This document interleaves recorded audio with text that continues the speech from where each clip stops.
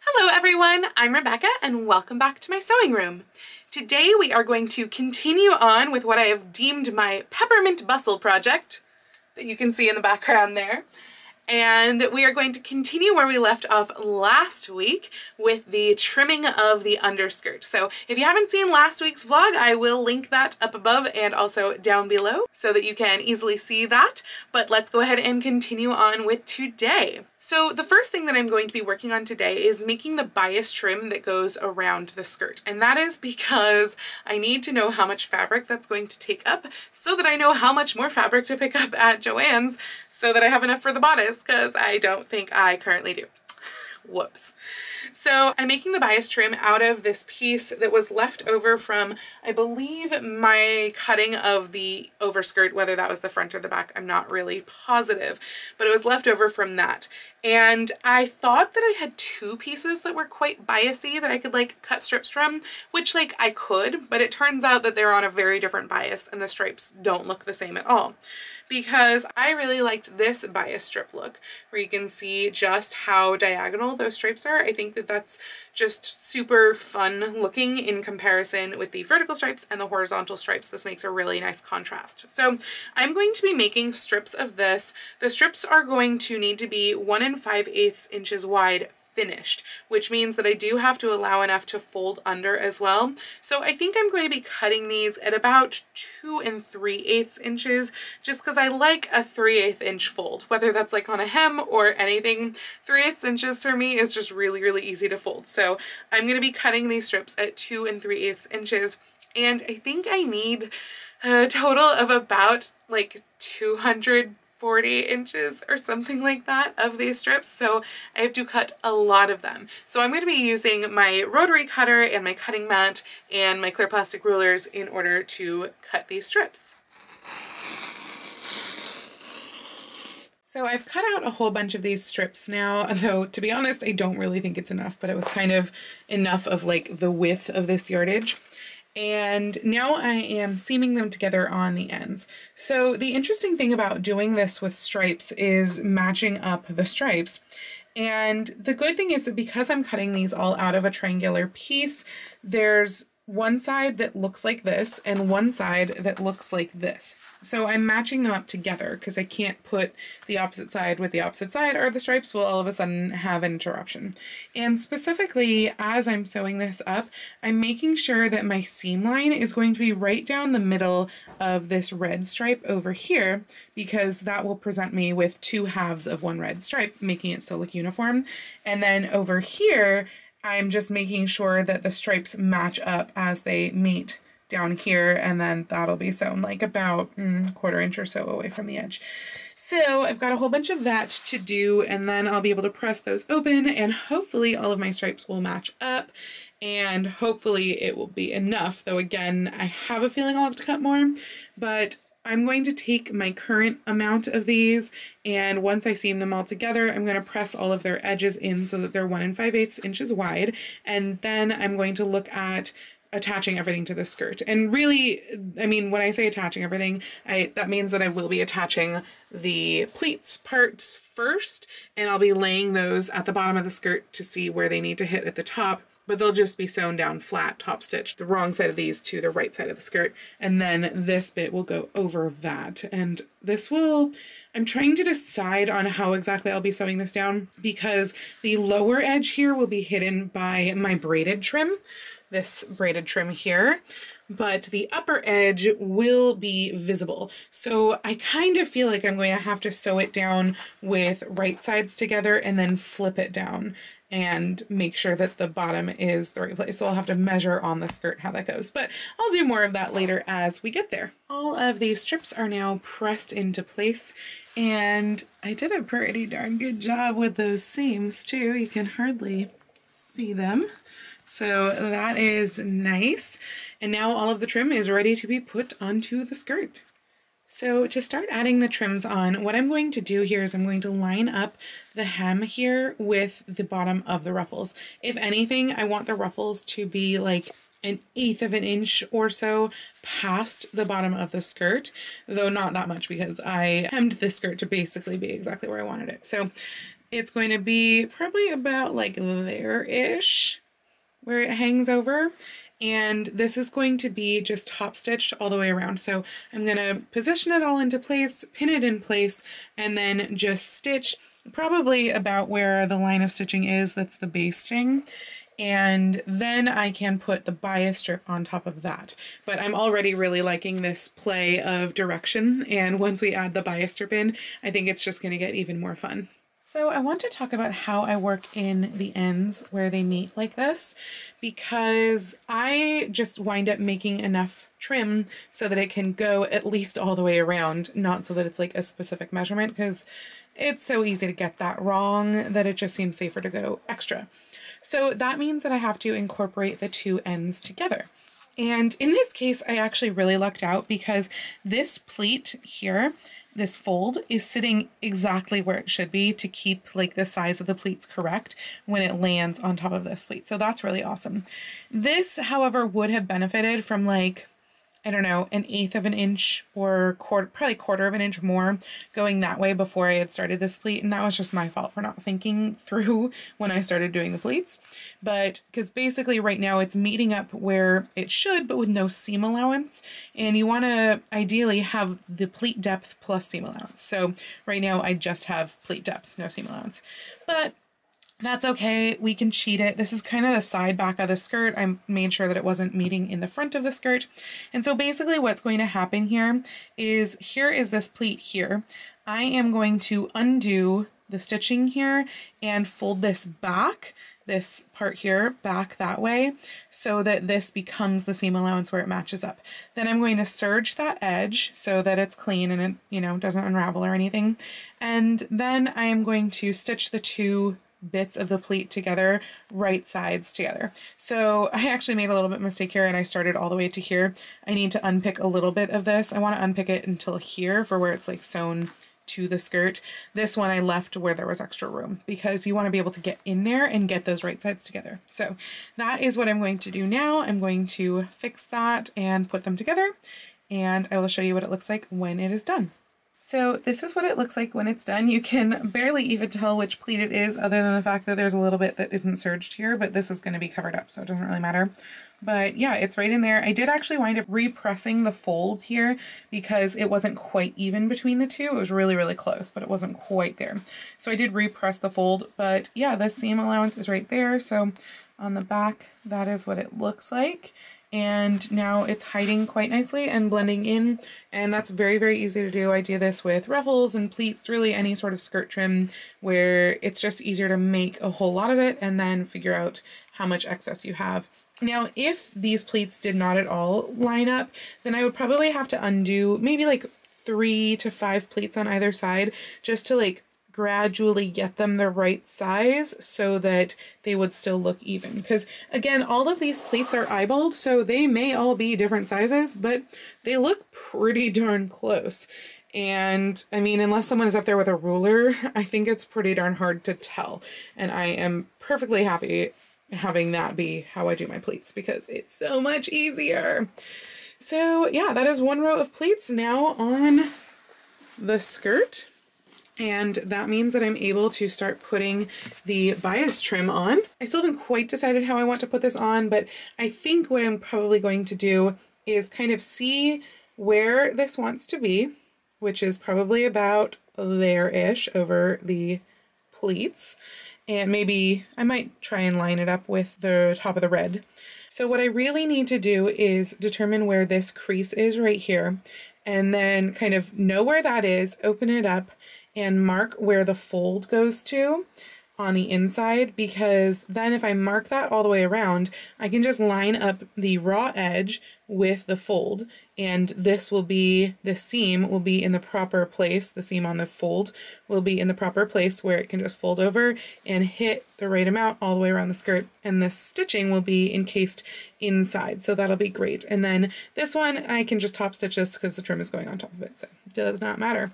But I do want to hide that top seam that'll be right in the fold. The trim is sewn down on this side and I'm in the process of pinning it down on this side. Now, unfortunately, there are some things where you just cannot match them up. this is where the two ends met and it just didn't work out that the math made them match up at a line. That's kind of just what happens when it's a certain size long. So, oh well, but it's a pretty small thing and it's actually kind of nicely doing completely off. So if it's not a match, at least it's like not like it's trying to be a match. So that's pretty fine. And I'm going around now and pinning them all down and then I'm going to top stitch right along the edge of this and then the braid will be put down over that seam gap. And the trim is done down on here on the bottom tier. So I have the braid and the zigzags and a cat and the pleated trim. So I'm super happy with how that looks. Now I just need to repeat the whole process. There goes my cat. Does anyone else's cat just like prefer to live under the tent that is a skirt? Odora. There's some uh, genuine cat content for you all. So yeah, I just need to repeat the whole process again with the next tier up, which will be like right here. So for the second tier of ruffles, I want the gap between the bottom of the second row or the top row and the bias strip to be one and a half inches. And then the ruffle itself is five inches. So that means I need to measure up six and a half inches, draw a line up here with a friction pen, and that will be what the top of the ruffle butts up against.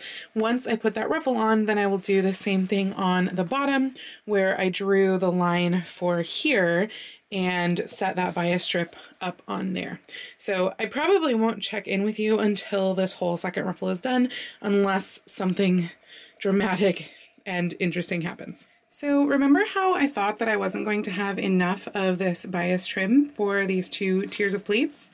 Yeah, um, I think I had enough.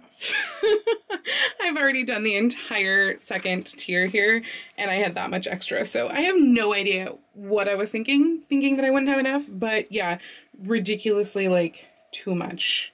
So that's good. It's again not matching here at the join, but that's okay. It's close, but meh, whatever.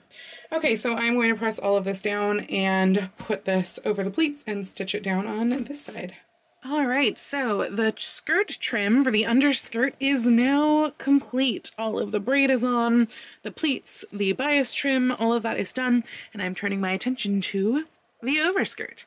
So this is what I mocked up for the overskirt trim. I actually did this using the leftover trim from the upper part of the underskirt.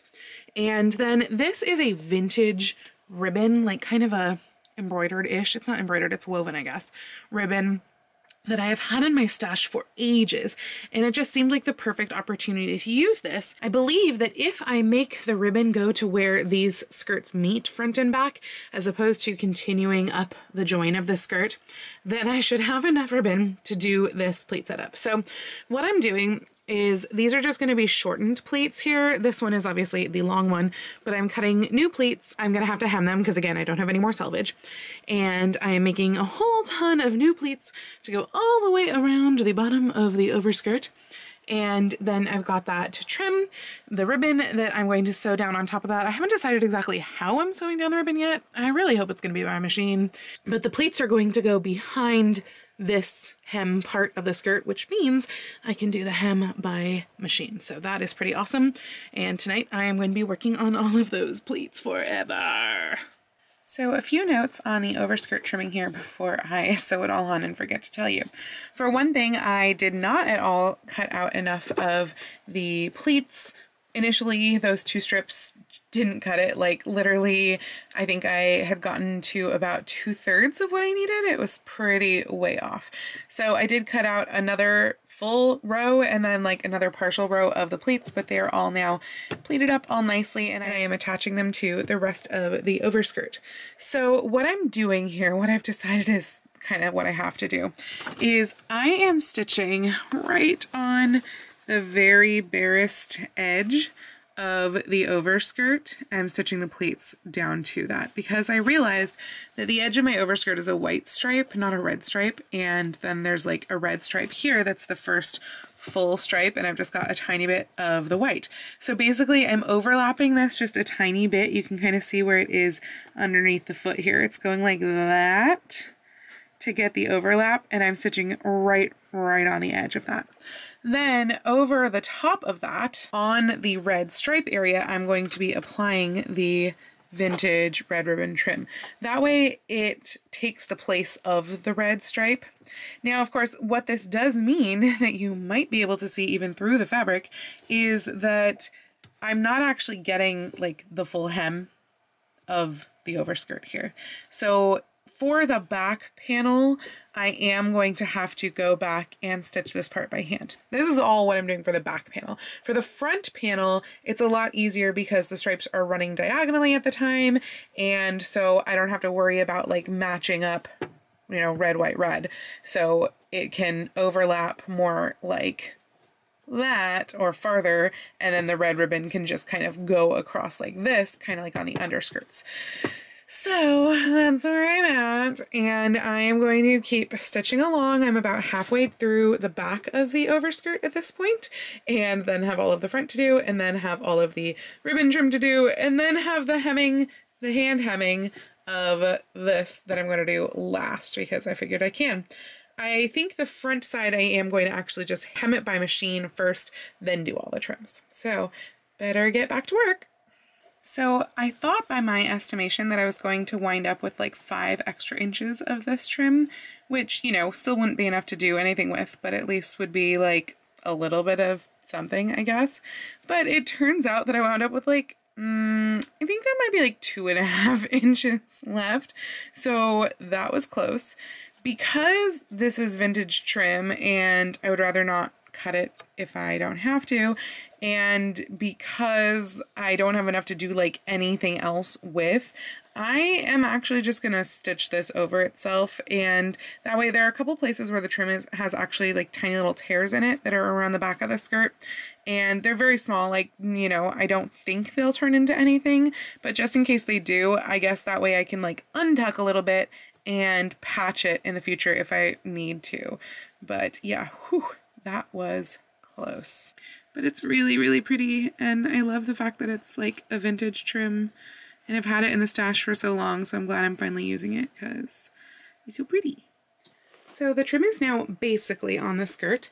I did notice that this one part over here right at this join was not hanging correctly, so I had to undo a little bit here and then repin the side going up and I still have to redo this last bit on. Honestly, I'm kind of wondering if it's just going to be easier to do by hand than try to put it back under the machine. So I might do that, particularly because all of this bit also has to be done by hand.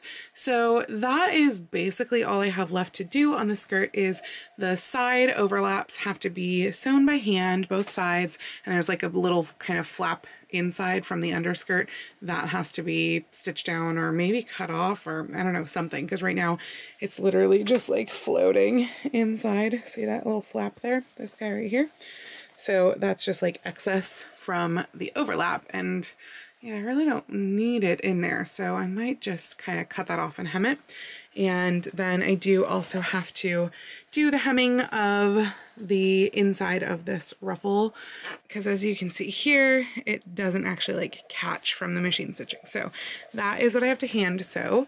But other than the hand sewing, everything else on the overskirt and both underskirts are done. And in fact, I already have the closures on the skirts and everything, so it is just the side bits and then the hem, and then that is all done. Oh, and I think I'm actually going to like stitch a tuck in the ruffle at the join too, because it wants to kind of flip up unless I do that sort of thing on both sides. So probably just gonna stitch it like that. But yeah, not too bad. Today is, well, by this point it's Friday morning at like 2 in the morning, but I am going to spend some of my Friday doing all of this hand sewing bit and that's probably gonna be it for this vlog, but I will show you what it looks like once it's actually sewn and you know, not just all pinned in place. So I will come back to you sometime tomorrow. Good night. I've stitched up the outside part of the seam where the two meet, which I will show you in a bit, but now I am trying to figure out what to do with this excess flabby bit that is the inside bit that I was talking about earlier where it overlaps. And I think I'm just going to cut, I drew a line in here that kind of goes to like where they meet and then up here at the waistband and I think I'm just going to cut that and fold it back and do like a little bit of a hem. I debated about just like serging it off and leaving it but I don't know, maybe doing the hem would be slightly better because it's already folded up here into the waistband. And so I just feel like it'd be weird to not, the, you know, then just chop it off there and just serge it. So yeah, I'm just going to curve that and angle it down into here with a fold. So I'm going to cut that out and give that a try. So I decided after pressing to actually just do this by machine because like there's no point in doing it by hand. It's inside the skirt. So that is now done. I wanted to show you the exterior where it meets. So on one side, this is the side where the waistband is continuous, not the opening, I just whipped it. And because this side has like the stripes and everything, and there wasn't just sort of a continuous color, including all the way down to the pleats, that I figured was kind of the best bet because yes, it will show a little bit on the edges of the red, but it's not too conspicuous and on the white it blends in entirely. So that's what I did on this side and then here I've prick stitched the little pleats together in that join so that it'll make that shape and not stick out really weirdly.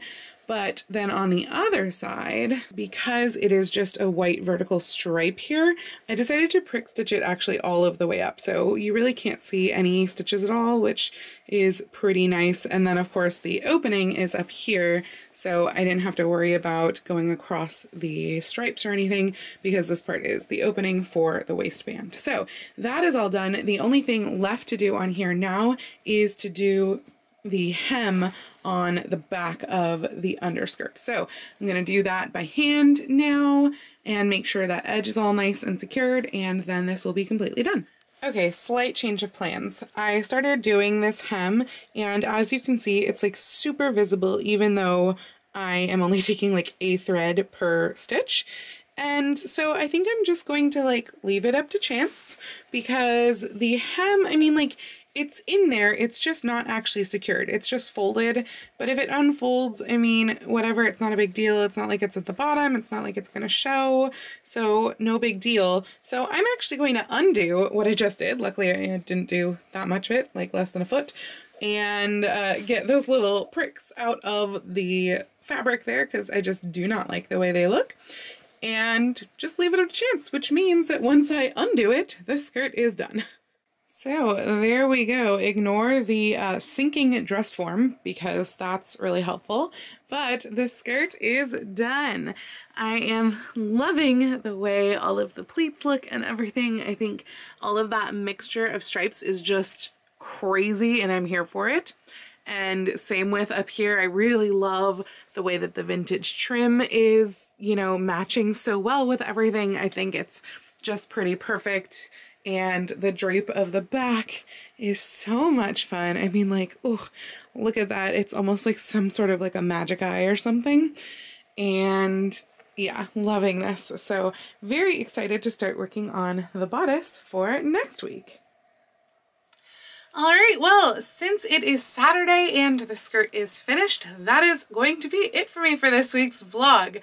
So do make sure that you check back next week as I move on to the bodice. If you like this video though, please make sure to click the thumbs up icon. And if you'd like to see more videos like this from me, please be sure and click subscribe and the little bell icon to be notified every time I post a video. I do post videos here on YouTube twice a week with my sewing vlogs like this on Tuesdays and other costuming content out on Saturdays, but I post every day over on my Instagram, so please go follow me on Instagram. That's at Lady Rebecca Fashions. And if you would like to support me and all that I do on this channel, I do have a link to both my Patreon or my Ko-fi account down below. Once again, thank you so so much for joining me today. Have a wonderful week, and I will see you very soon in my next video. Happy sewing!